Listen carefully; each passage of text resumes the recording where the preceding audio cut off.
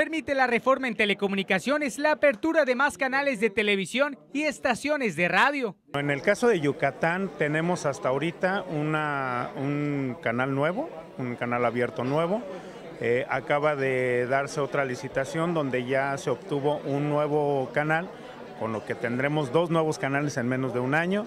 Ante el crecimiento de la competencia, quienes encabezan al sector de la comunicación en el Estado reconocen la necesidad de adaptarse a las exigencias y el ritmo que la sociedad demanda, lo que se traduce en comunicadores cada vez más preparados. Aquí la verdad es de que el reto de los trabajadores, pues como lo has dicho, afortunadamente es un reto de estar a la altura de ese nivel de inversión, de ese nivel de modernidad, para poder eh, servir a nuestra audiencia. Ese es nuestro principal reto.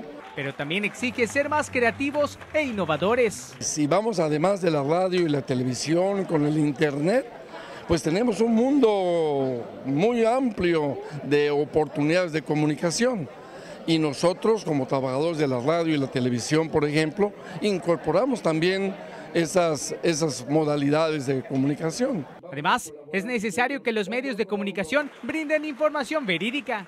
Ahora el reto que tenemos es nosotros acercarnos a la sociedad, que no se olvide que estamos acá como una fuente de información y de entretenimiento este, pues que lo hacemos con seriedad. El STIR Mérida conmemoró el Día de los Trabajadores de la Radio y la Televisión, en donde gremiados se comprometieron a redoblar los esfuerzos para contar con una sociedad bien informada.